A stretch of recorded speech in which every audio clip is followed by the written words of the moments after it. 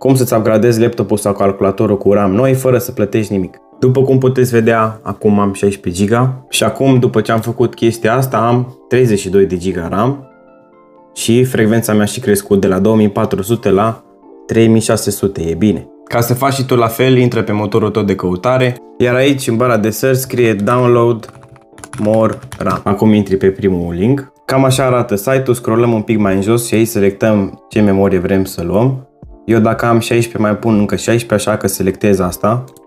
Apăs pe select plan, apăs pe download, după ce s-a descărcat, apeși aici și ai terminat procesul.